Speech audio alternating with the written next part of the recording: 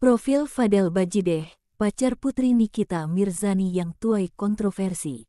Fadel Bajideh dilaporkan oleh Nikita Mirzani ke Polres Metro Jakarta Selatan pada Jumat tanggal 13 September tahun 2024 atas kasus dugaan aborsi. Hal ini berkaitan dengan rumor kehamilan dan aborsi yang menerpa Loli, sang putri. Nama Fadel sendiri memang baru belakangan ini terdengar di telinga penikmat dunia hiburan Indonesia.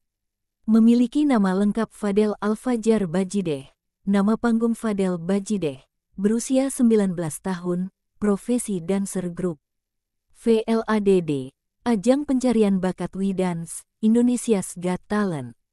Fadel Bajideh memiliki keturunan Arab Kupang dari darah kedua orang tuanya.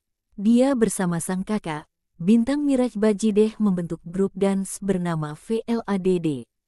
Bersama sang kakak, Fadel sering membuat konten dance di media sosial yang mampu menghipnotis 3,9 juta pengikutnya di TikTok. Pada usia 8 tahun, Fadel pernah menjadi finalis ajang We Dance. Ia menjadi menyabet gelar runner-up pada kompetisi tersebut. Fadel Bajideh sempat meraih beberapa penghargaan secara individu dan grup. Ia pernah menjadi runner-up ajang We Dance pada 2012. Selain itu, Fadel bersama VLADD baru-baru ini juga meraih penghargaan di acara All Star Influencers Award di Malaysia.